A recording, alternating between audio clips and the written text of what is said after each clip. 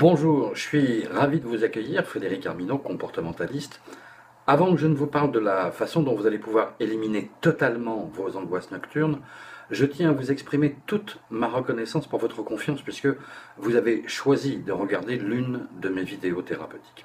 Alors je vais donc m'employer à vous expliquer comment en quelques jours et en quelques exercices surprenants et simples, vous allez en finir avec vos troubles du sommeil liés à vos angoisses nocturnes et inversement.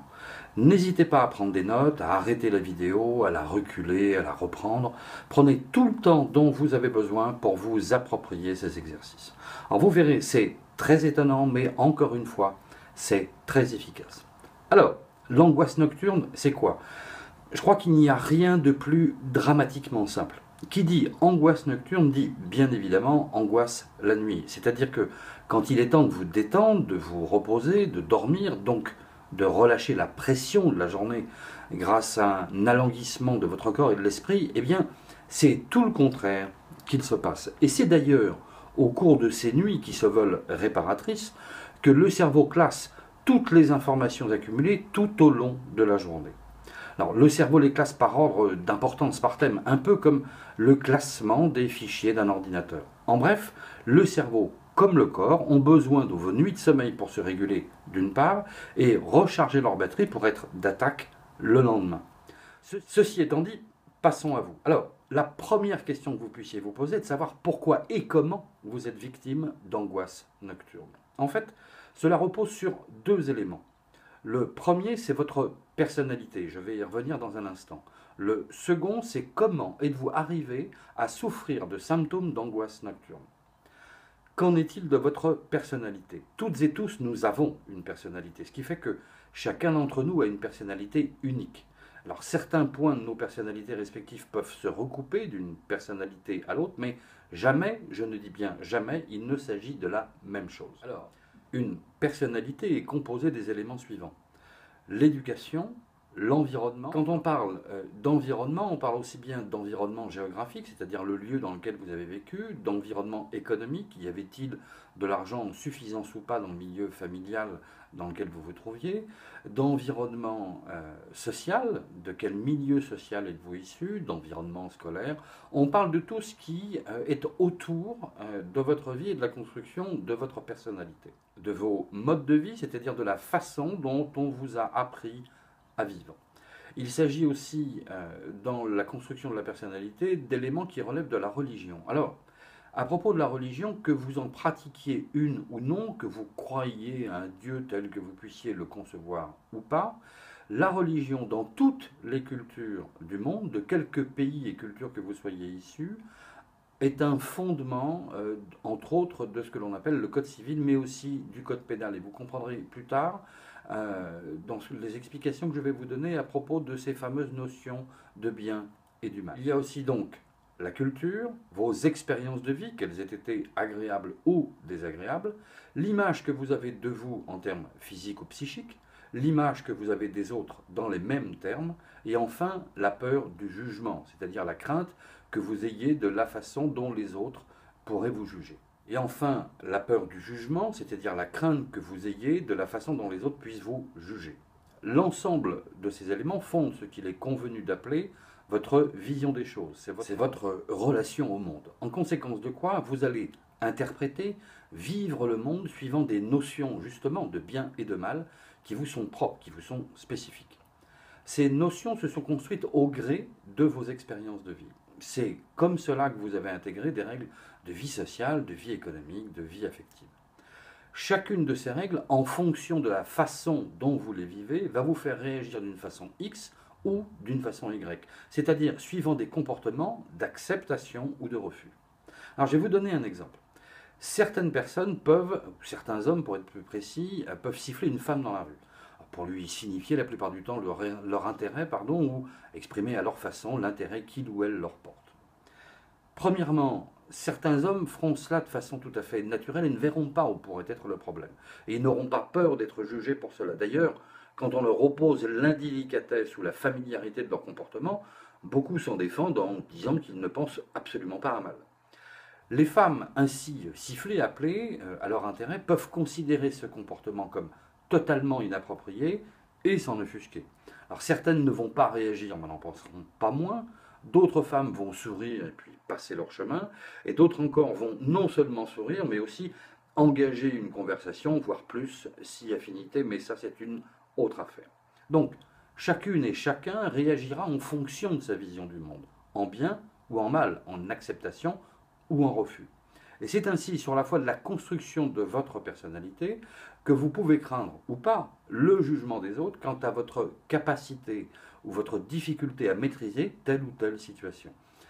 Vous pouvez donc craindre de mal faire, ce qui, peut, ce qui peut participer, cette peur du jugement, à vous faire peur, justement, et cette peur est la forme la plus petite de l'angoisse, ou ce qui peut au contraire vous angoisser, ce qui est la forme la plus élevée de la peur, la plus paroxystique. Or, une angoisse, c'est quoi? Si ce n'est une peur très élevée que vous avez de ne pas maîtriser, ou une crainte que vous avez de ne pas contrôler les conséquences de votre comportement. Et sur la foi de la construction de votre personnalité, vous pouvez craindre d'être jugé et donc de perdre l'approbation, l'amour des autres ou la reconnaissance d'une personne ou d'une autre. Autant de facteurs qui participent à créer chez vous un sentiment d'insécurité. Ce même sentiment d'insécurité qui va vous inviter à vous obliger avec le temps à trouver des solutions comportementales pour vous adapter aux situations auxquelles votre vie vous confronte. Et à ce moment-là, le temps aidant, ce qui peut être une peur au départ, va devenir une angoisse, voire une angoisse chronique ou encore une anxiété, c'est-à-dire un état de tension émotionnelle quasi permanent au cours duquel tous vos sens seront aux aguets. Et c'est ainsi que petit à petit, dans une situation de contrôle permanent, vous allez perdre justement le contrôle du contrôle au sens où vous ne maîtriserez plus rien. Et c'est de façon quasi chronique que la nuit approchant, vous allez bien vous rendre compte que vous n'avez pas pu contrôler tout ce que vous souhaitiez comme vous le souhaitiez et que vous n'arriverez pas à lâcher prise, c'est-à-dire à vous détendre et à vous reposer. De fait, votre cheminement émotionnel ne pourra se calmer à votre sens que si vous répondez par des solutions à toutes les questions angoissantes qui vous occupent. Et c'est ainsi que vous serez victime d'obsession ou de rumination. Alors, ne vous inquiétez pas, dans quelques minutes, je vais vous confier un exercice qui a justement pour vocation d'éliminer ces pensées obsessionnelles. Alors, j'espère avoir euh, été clair. Ce que je veux dire, c'est que quand va arriver le moment où vous serez chez vous, et qu'il s'agira, qu'il sera temps de vous reposer, les choses risquent d'être très difficiles pour vous. Vous allez avoir peur de vous endormir d'une part, et ce d'autant plus que votre cerveau ne va pas arriver à travailler car vous serez émotionnellement trop tendu. Alors, pourquoi allez-vous avoir peur? Pourquoi donc souffrez-vous d'angoisse nocturne? Eh bien, c'est précisément ce que nous allons voir maintenant.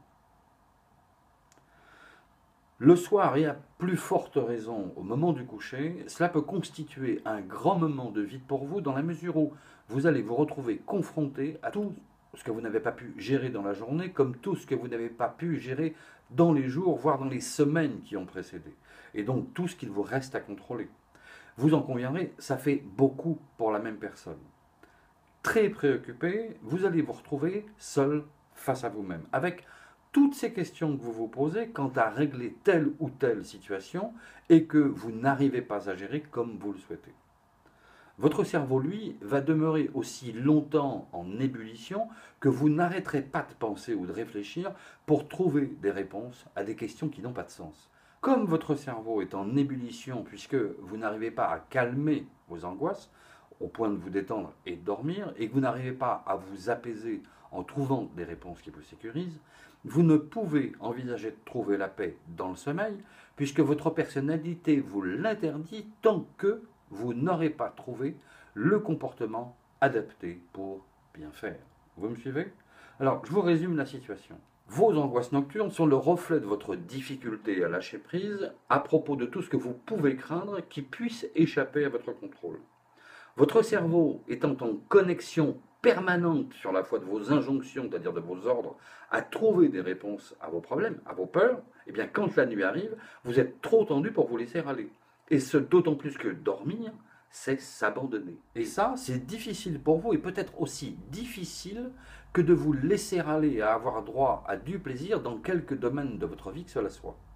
Et vous n'allez donc pas vous laisser aller à dormir, à vous reposer, puisqu'il n'est pas impossible que ce soit un droit que vous ne vous octroyez pas, que vous ne vous offrez pas. Et à ce propos, il n'est pas impossible que vous vous sentiez illégitime. C'est-à-dire que vous n'avez pas le droit tant que, dans le même temps, vous savez que vous avez besoin de dormir pour vous reposer, vous détendre, mais vous ne savez plus comment faire, noyé que vous êtes, dans vos problématiques personnelles. Alors, une fois euh, ces explications données, comment faire? Eh bien, c'est justement l'objet de la séquence suivante. Qu'allez-vous découvrir maintenant dans cette seconde séquence? Ce que vous allez découvrir, premièrement, c'est comment vous préparer à une nuit réparatrice. Ensuite, c'est comment éliminer vos angoisses nocturnes. Et enfin, quoi faire en cas de crise de panique nocturne.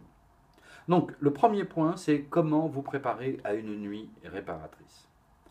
L'objectif en l'espèce, c'est de vous préparer à diminuer le flot de vos angoisses nocturnes d'une part, pour vous préparer à vous endormir d'autre part. Et c'est à partir de maintenant que vous allez pouvoir prendre acte de premier exercice. Je ne pense pas commettre une erreur en affirmant que vous êtes sans doute victime de pensées obsessionnelles ou de ruminations. Et c'est d'elles dont il va falloir vous occuper dans un premier temps. Pour ce faire, vous allez procéder de la façon suivante. À chaque fois que vous vous posez une question dont le contenu participe à vous angoisser, quelle que soit cette question. Alors par exemple, euh, vais-je y arriver? Vais-je arriver à dormir? Ou ce soir je ne vais pas arriver à dormir Comment pourrais-je faire? Eh bien, dites-vous la chose suivante. Vous citez votre prénom, alors je vais prendre le mien euh, à titre d'exemple, et vous allez vous dire la chose suivante. Frédéric, il n'y a pas de réponse intelligente à une question qui n'a pas de sens. Souvenez-vous, je vous en ai parlé tout à l'heure dans la première partie de cette vidéo. Qu'est-ce que cela signifie cette phrase? Il n'y a pas de réponse intelligente à une question qui n'a pas de sens. Eh bien, cela signifie que vous essayez de trouver une réponse qui vous sécurise par rapport aux problèmes que vous rencontrez dans un ou plusieurs domaines de votre vie. Or, cette réponse, si elle devait exister, vous l'auriez déjà trouvée. De fait, elle serait intelligente en soi, puisqu'elle serait la réponse que vous cherchez. Ben oui, mais voilà.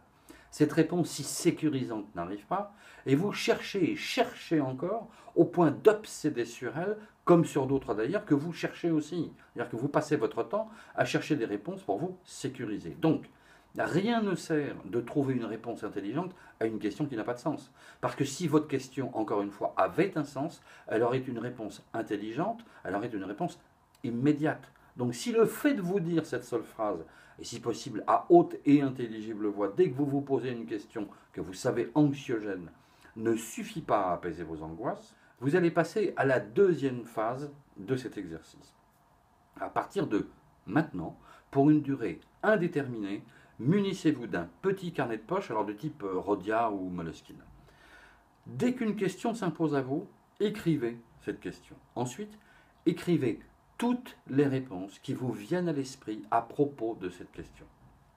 Ces réponses vont sans doute générer de nouvelles questions, nouvelles questions que vous allez aussi écrire et qui, à leur tour, vont générer de nouvelles réponses que vous allez aussi écrire, et ainsi de suite, jusqu'à ce que vous vous sentiez plus apaisé. Vous allez recommencer cet exercice aussi souvent que vous en éprouvez le besoin. L'objectif d'un tel exercice est de faire diminuer le flux, donc l'importance de vos obsessions, et que cela vous aide à vous sentir moins stressé. il y a de fortes chances pour que cet exercice dure plusieurs jours, voire plusieurs semaines.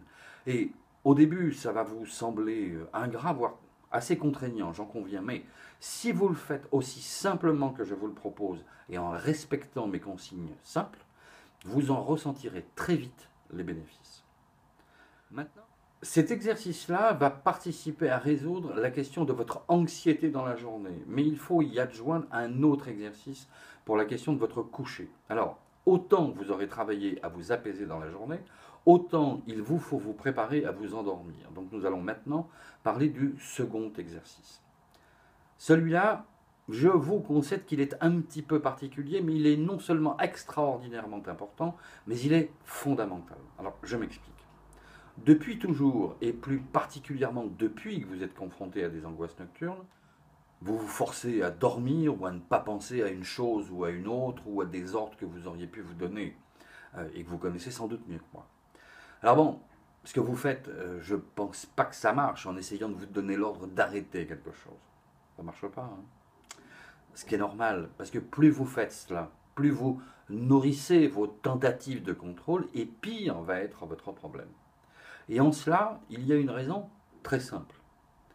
C'est quoi cette raison? C'est que depuis le temps que vous sollicitez votre cerveau, vous lui avez appris à être sur la brèche en permanence. Et quand vous essayez de la lui jouer fine en prétendant lui faire croire que tout va bien, lui ne se dit qu'une chose. C'est mon propriétaire ne prend pas la mesure du problème que je lui explique. Je vais donc lui faire comprendre qu'il doit faire quelque chose, et pour cela, votre cerveau accentue la gravité de votre perception. C'est comme si quelqu'un vous frappait avec l'intention délibérée de vous faire du mal et vous lui disiez pouf, même pas mal. Ben, à ce moment-là, que va faire la personne qui vous frappe? Elle va vous porter d'autres coups encore plus violents que les précédents. Et la suite, vous l'imaginez. Donc, que faut-il faire? Il faut prendre votre cerveau à son propre jeu. Et comment? Eh bien, je vous l'explique tout de suite. Chaque soir, une fois rentré chez vous, vous allez vous isoler dans une pièce de votre maison ou de votre appartement. Pensez à demander aux personnes qui vivent avec vous de vous laisser tranquille pendant à peu près 15 à 20 minutes. cet exercice est très important. Une fois que vous êtes au calme et que vous êtes confortablement installé, vous allez imaginer, j'ai bien dit imaginer, vous allez imaginer tout ce que vous pourriez craindre si d'aventure vous ne dormez pas et êtes victime d'angoisse nocturne. Vous allez donc imaginer toutes les conséquences émotionnelles, affectives, sentimentales, professionnelles, économiques, familiales, donc toutes les conséquences dans tous les domaines de votre vie qu'auraient vos angoisses si, 1. vous n'arrivez pas à les calmer, 2. si vous n'arrivez pas à dormir, à vous reposer, et vous allez donc imaginer que tout ce qui vous fait si peur, si vous ne calmez pas vos angoisses, si vous ne dormez pas, eh bien, vous arrive et que vous ne pouvez absolument rien faire pour l'empêcher. Donc, ce que je vous demande, c'est d'imaginer le pire que vous puissiez craindre et même le pire du pire. Alors pourquoi est-ce que je vous demande ça? En fait, c'est une question de stratégie. Votre cerveau veut s'assurer que vous comprenez bien l'imminence des dangers qu'il vous adresse. Et il exige de vous que vous agissiez en conséquence. Or, ce qui a pu fonctionner à une époque, alors celle au cours de laquelle vous contrôliez encore vos émotions, au point de ne pas en perdre totalement le sommeil d'une part et de ne pas souffrir d'angoisse nocturne, même de façon euh, ponctuelle d'autre part, eh bien, tout ce qui a pu fonctionner ne fonctionne plus. Vous ne contrôlez plus rien, on est bien d'accord. Par ailleurs, vous savez d'expérience que plus vous allez essayer de vous convaincre que tout va bien, pire va être votre problème. Donc, plutôt que de tenter de rassurer votre cerveau, il faut au contraire le faire passer dans le rouge. Je m'explique. Alors, peut-être avez-vous déjà entendu parler d'un médicament qui s'appelle la ritaline. La ritaline, c'est une méthamphétamine super excitant que l'on prescrit aux enfants atteints de troubles de la concentration et qu'on appelle plus communément des enfants hyperactifs. Un hyperactif, c'est quelqu'un qui rencontre de grandes difficultés de concentration, entre autres choses, puisque son cerveau lui donne, au titre de l'image, 50 ordres en même temps. Il est complètement inutile de demander à ses enfants de se calmer, puisque le voudrait-il qu'il ne le pourrait pas. Le seul moyen de les aider est de leur prescrire donc cette fameuse ritaline qui va accélérer le processus du cerveau et mettre ce cerveau en sur-surchauffe. Imaginez qu'un cerveau normal fonctionne à 100 à l'heure. Le cerveau d'un hyperactif, lui, fonctionne à au moins 3 ou 400 à l'heure. Et pour que le cerveau se calme, il faut augmenter plus encore son régime de fonctionnement. Il faut le faire passer à 5 ou 600 à l'heure. Et là, on assiste à un truc qui est très connu dans le domaine du comportement. On génère ce que l'on appelle de l'entropie, c'est-à-dire du désordre, ce qui permet de retrouver de l'ordre, de l'équilibre. Eh bien, c'est précisément ce que je vous demande de faire. Il faut accélérer le rythme et le contenu des informations délivrées au cerveau pour que de lui-même il s'apaise, régule vos émotions et de facto cesse de vous maintenir en tension. Ce qui va progressivement vous permettre de ne plus souffrir du tout d'angoisse nocturne. Maintenant, passons au dernier exercice. Tous les soirs, 15 minutes avant d'aller vous coucher, vous allez écrire sur une feuille de papier tout ce que vous ressentez à ce moment-là ou tout ce à quoi vous pensez. Une fois cet exercice fait, vous déchirez la feuille et vous la jetez. Et si vous vous réveillez dans la nuit, levez-vous et refaites exactement le même exercice jusqu'à ce que vous vous endormiez. Tout à l'heure, je vous parlerai d'un autre petit exercice pour renverser le processus. Mais maintenant, j'aimerais que nous parlions d'une chose. Une chose qui est très pénible et dont vous souffrez ou dont vous avez déjà souffert. Ce problème, c'est celui qui vous fait une telle violence alors que, endormi, vous vous réveillez tout d'un coup. En nage, en eau, le souffle coupé, avalant une immense bouffée d'air comme si vous respiriez tout d'un coup après un long moment en apnée, c'est-à-dire sans respirer. Et que ce moment si soudain et parfois donc si violent vous plonge dans les abîmes de la crise de panique. Eh bien, ces crises de panique sont aussi faciles à contrôler qu'à résoudre. Comment? Tout simplement en faisant de nouveau l'exercice du pire quelles que soient les idées qui vous traversent l'esprit, les peurs qui vous étreignent, pensez à elles et surtout pensez au pire de ce qui puisse vous arriver si vous n'arrivez pas à contrôler votre crise de panique. Vous faites ça pendant 10 minutes, puis vous vous recouchez. Si cela ne suffit pas, vous recommencez 15 minutes à imaginer le pire de ce que vous puissiez craindre. Vous imaginez quoi, comment, qui, et vous imaginez aussi qu'il n'y a aucune solution pour éviter ça. Et vous imaginez donc que vous êtes condamné au pire. Et je vous l'assure, assez rapidement, vos crises vont cesser et vous allez pouvoir reprendre votre nuit de sommeil.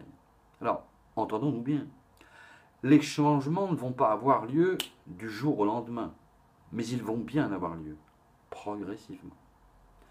Ceci étant dit, il est important aussi pardon, que vous mettiez en place des structures de comportement qui vous permettent, un, d'éviter le retour de vos angoisses nocturnes. Deux, que vous adoptiez trois comportements si vous ne voulez ne plus jamais souffrir d'angoisse nocturne. Et enfin, je vais vous expliquer comment faire pour ne pas souffrir d'angoisse ou d'insomnie inattendue. Comment faire pour éviter le retour des angoisses nocturnes? Il faut que vous fassiez les exercices dont je viens de vous parler pendant au moins 8 jours, pendant une période de 2 à 4 jours cela risque d'être un petit peu pénible pour vous, je vous l'accorde. Mais vous allez faire bouger les structures de votre psyché, de votre cerveau, et ça, votre cerveau, il ne va pas aimer, jusqu'au moment où de lui-même, il va se réguler comme je vous l'ai expliqué. Donc, quand vous commencerez à aller mieux, continuez ces mêmes exercices. Surtout, ne vous manipulez pas ou ne vous laissez pas manipuler par le côté très agréable de votre mieux-être et n'arrêtez pas tout d'un coup euh, vos exercices. Sinon, vous prenez les mêmes risques qu'au cours ou qu'au terme pardon, d'un sevrage médicamenteux mal ordonné. D'accord? En conséquence de quoi, quand vous commencerez à aller mieux, continuez ces mêmes exercices. Il faut que vous atteigniez une période, un cycle d'exercice d'au moins 8 jours. Et au terme de ce délai, faites ces mêmes exercices un jour sur deux, puis au bout de 4-5 jours, un jour sur trois, et ainsi de suite, jusqu'à ne plus les faire du tout. Il s'agit là de consolider votre solution et de ne courir aucun risque de rechute. Et en tout cas, il va vous falloir adopter trois comportements pour ne plus jamais souffrir d'angoisse. Alors, ces trois comportements, ce sont 1. Accepter vos angoisses nocturnes et accepter votre impuissance à contrôler ce problème. 2. Respectez scrupuleusement les consignes que je vous donne. C'est-à-dire que je vous demande de me faire confiance. Troisièmement, délibérément aggraver, mais de façon imaginaire, les rappels à l'ordre que votre cerveau vous donne. Et ça, c'est de la pure stratégie comportementale. Ce que je veux dire par là, c'est exactement comme si une amie vous disait Oui, je suis complètement idiot ou idiote, j'arrive à rien faire, et que vous, répondez à cette personne que non, qu'elle se trompe, qu'elle est au contraire quelqu'un de génial. Ce que vous allez faire, c'est lui faire plaisir à cette personne, à cette amie, mais vous n'allez pas l'aider à résoudre son problème de confiance en soi. Si par contre vous en rajoutez en lui disant Oui, tu as raison, tu es même encore plus bête que tu ne le pensais. D'ailleurs, je ne comprends pas pourquoi nous sommes amis.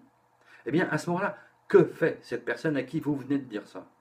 Elle sourit, voire elle rit. Et à ce moment-là, son problème est terminé ou en passe de l'être. Eh bien, je vous demande de faire exactement la même chose avec votre cerveau pour en reprendre le contrôle.